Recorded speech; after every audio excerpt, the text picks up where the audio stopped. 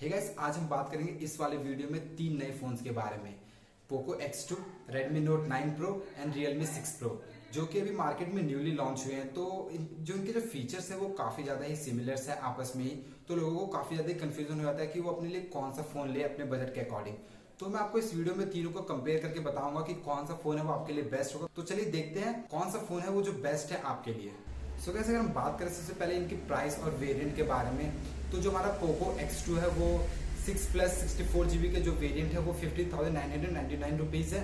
और जो उसका नेक्स्ट वेरिएंट है eight plus two fifty six GB उसका प्राइस है nineteen thousand nine hundred ninety nine rupees और अगर हम बात करें रियलमी सिक्स प्रो के बारे में तो इसका जो six plus sixty four GB का जो वेरियंट है, वो है sixteen thousand nine hundred ninety nine rupees और जो इसका eight plus one twenty eight GB का जो वेरियंट है, वो है eighteen thousand nine hundred ninety nine rupees और वहीं अगर बात करें Redmi Note 9 Pro के बारे में तो जो इसका 4 प्लस सिक्सटी फोर जीबी का जो वेरिएंट है, वो twelve thousand nine hundred ninety nine rupees है। और इसका six plus one twenty eight GB का जो वेरिएंट है, वो है fifteen thousand nine hundred ninety nine rupees so guys जो हमारा सबसे पहला पैरामीटर है कंपेयर करने का, वो है डिस्प्ले क्योंकि किसी भी फ़ोन में क्या होता है कि डिस्प्ले सबसे इंपॉर्टेंट फैक्टर होता है। तो अगर हम बात करें पोको की बात तो उसमें 6.67 inches full H D plus one twenty hertz resolution display देखने को मिल जाता है। और वहीं हमें Realme में 6.4 inches full H D plus ninety hertz की डिस्प्ले देखने को मिलता है और Redmi Note 9 Pro में हमें 6.67 inches full H D plus resolution का डिस्प्ले देखने को मिल जाता है।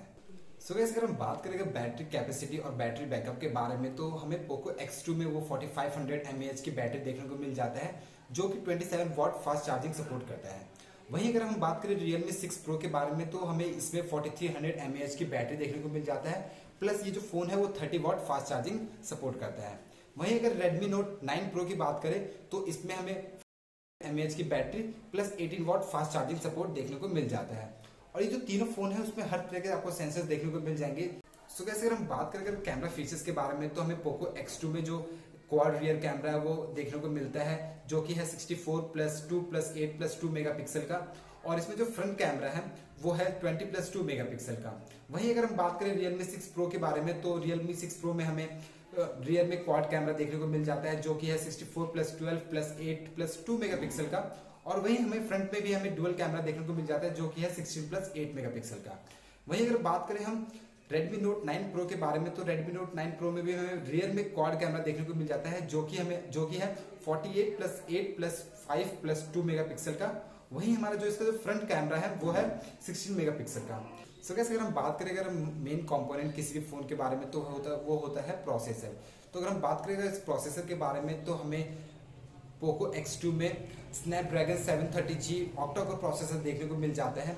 वहीं हमें Realme 6 Pro में Snapdragon 720G ऑक्टा प्रोसेसर देखने को मिलता है और Redmi Note 9 Pro में भी हमें seven twenty 720G octa processor देखने को मिल जाता है। और ये जो तीनों फ़ोन है, उसमें सेम जीपीयू है एड्रीनो 618 दे रखा है इस वाले फ़ोन में।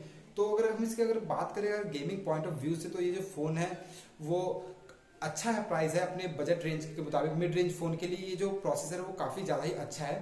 तो आप इस फ़ोन को कंसिडर कर सकते हैं, अगर आप गेमिंग के लिए ले रहे हैं तो। सो कैसे अगर बात करें मेरे ओपिनियन के बारे में कि आपको कौन सा फ़ोन लेना चाहिए इन तीनों में से तो मैं आपको सजेस्ट करूँगा कि आप रियलमी सिक्स प्रो के साथ जाए। क्योंकि जो इसमें जो प्रोसेसर है, जो कैमरा है, जो इसमें ओवरऑल फ़ोन है, इसमें वो पूरा बेस्ट फ़ोन है ये आपके लिए।